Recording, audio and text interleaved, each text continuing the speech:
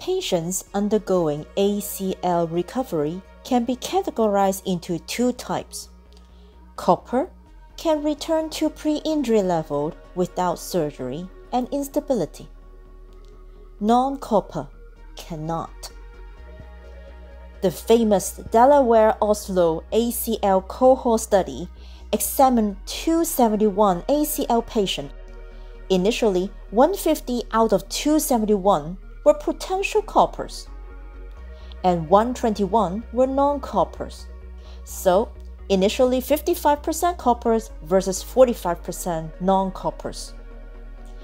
After 10 sessions of NMST program over 5 weeks, 35 non copers became copers.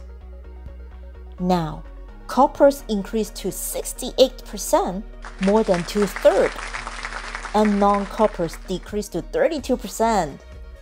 Such outstanding result was achieved by applying the NMST program.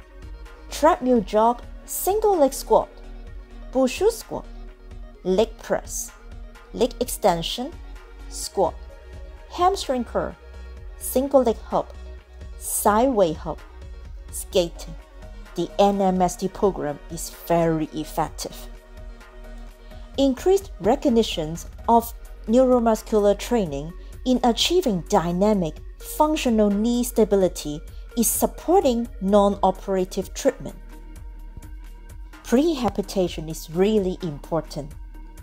However, patients with ACL injury often struggle with pain, muscle inhibition, atrophy, poor posture, and kinesiophobia.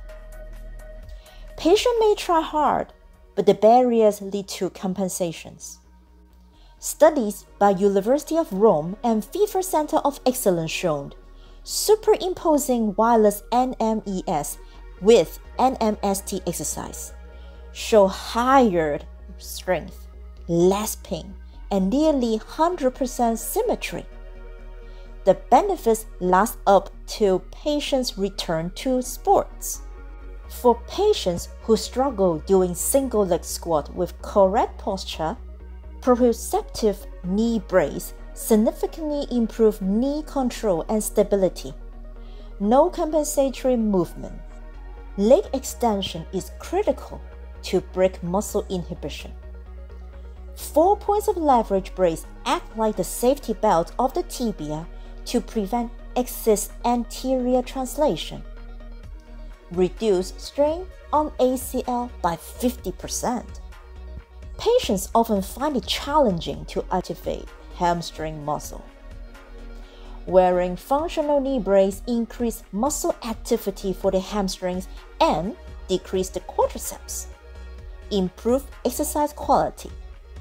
For patients who struggle doing single leg hop with proper alignment, functional knee brace improve symmetry during dynamic functional exercise, enabling safe return to sport.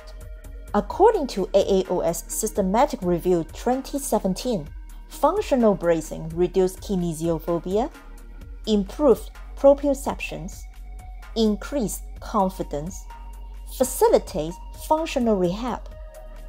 Finally, return to previous level of competition.